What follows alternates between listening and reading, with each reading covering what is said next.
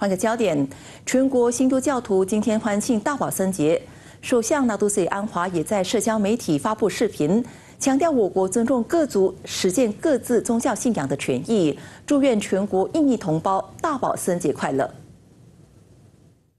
Saya harap negarakan masyarakat Hindu merayakan dengan tenang. Dengan keluarga supaya dapat ditingkat usaha mereka, akhlak dan nilai mereka dan semangat kemanusiaan mereka dan jadikan mereka sebagai satu kekuatan induk dalam negara Malaysia yang tercinta. Selamat menyambut Taipusam. 安华在贴文中为新都教徒送上祝福，希望今年的节庆比往年更加热闹，也祝愿印尼同胞能和心爱的家人共庆佳节。